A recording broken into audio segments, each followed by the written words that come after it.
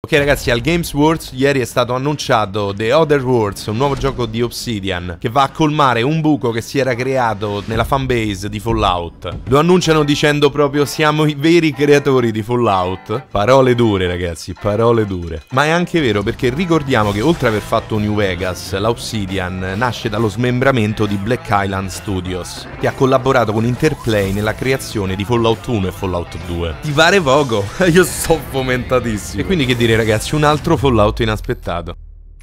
Le ambientazioni a Tom Punks sembrano create per eh, farci sentire a casa, anche se ambientato nello spazio mantiene questo stile retro post-apocalittico classico che troviamo in Fallout. Sembra proprio che l'Obsidian si sia detta adesso ci facciamo un Fallout tutto nostro con blackjack e squillo di lusso. E diciamo che sembra avere anche le classiche qualità degli RPG di Obsidian. Quindi importanti dialoghi con NPC e la possibilità di cambiare l'esito della missione e del gioco stesso in base alle risposte e alle decisioni che prendiamo nel gioco. Ammetto che anche io sento un po' il bisogno di fare incazzare qualche NPC. Comunque in questo video andremo ad analizzare il trailer, il gameplay e un nuovo tipo di avanzamento di livello molto particolare, diciamo molto ruolistico perché aggiunge un sistema di difetti del personaggio, poi lo andremo a vedere. Il trailer inizia con un simpatico vecchietto che ricorda Rick di Rick e Morty che ci chiede se vediamo qualcosa che potrebbe essere riconoscibile come una cellula esplosiva dentro il velivolo. Ci risveglieremo dall'ibernazione su una nave coloniale che si è persa durante il trasferimento verso una colonia ai confini della galassia, così da trovarci invischiati in una complicata cospirazione che rischia di distruggerla.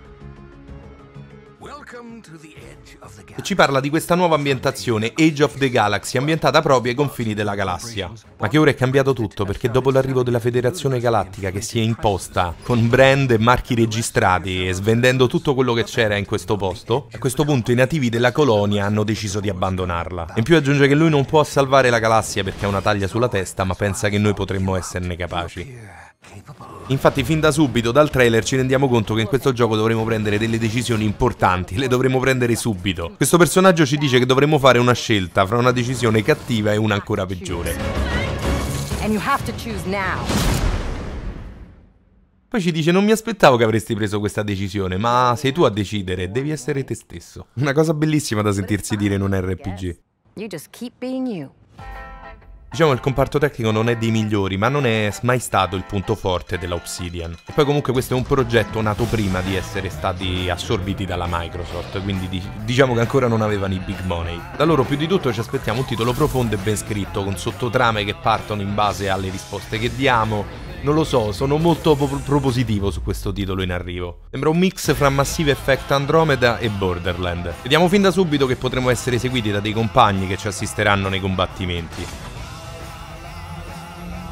E qui abbiamo il primo contatto col sistema di avanzamento di livello. Come vedete qui la raptifobia, il giocatore essendo venuto in contatto con queste lucertole adesso ne ha paura. Gli incontri ripetuti con questi raptidons hanno diminuito la tua efficacia quando loro attaccano te o i tuoi compagni. Quindi un incontro ravvicinato dove uno di queste lucertolone attaccasse un membro del nostro gruppo ci farebbe avere dei malus. Quindi mi sembra di aver capito che ogni punto abilità comunque ti becchi dei malus. Di conseguenza dovremo riuscire a bilanciare i malus con i bonus. I ragazzi di Game Game Informer che hanno avuto la possibilità di giocare questo titolo hanno anche detto che il loro personaggio ha la fobia del fuoco grazie al suo background. Non è ancora ben chiaro di cosa si tratta, ma sembra dare un'ulteriore sfaccettatura al gioco di ruolo. Perché dove noi andremo a migliorare otterremo anche dei malus, quindi non avremo mai una macchina da guerra perfetta.